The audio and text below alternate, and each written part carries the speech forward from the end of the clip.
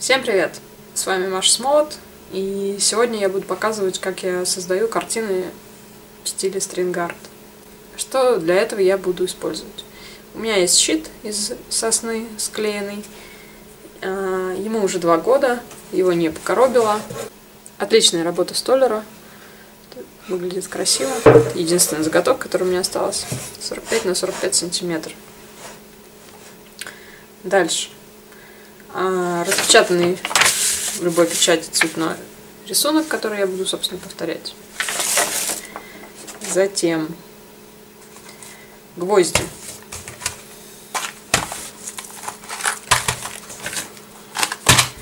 Гвозди я буду использовать разные. А, толщина 1,4, а длина 20, 25 и 32. Это я взяла специально разные, потому что я хочу сделать многоуровневую картину, поэтому, чтобы, чтобы показать объем, а поэтому в центре будем использовать 32 миллиметра, немножко по периферии, по периферии 25 и на самом кончике будет 20. Также мне понадобятся нитки. Обычные швейные нитки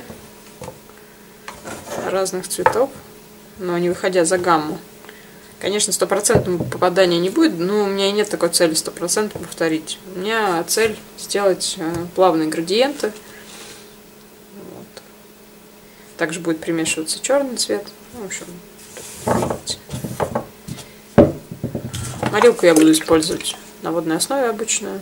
80 рублей стоит в Мерлине. А, орех. Цвет орех. Если покрыть слоя 3, будет практически черный цвет, что и мне и нужно. Так, и самое главное это макет.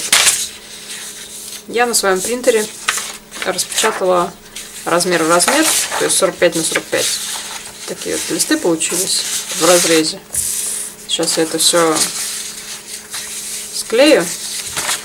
Получится цветок, который, по которому мы будем вбивать гвозди.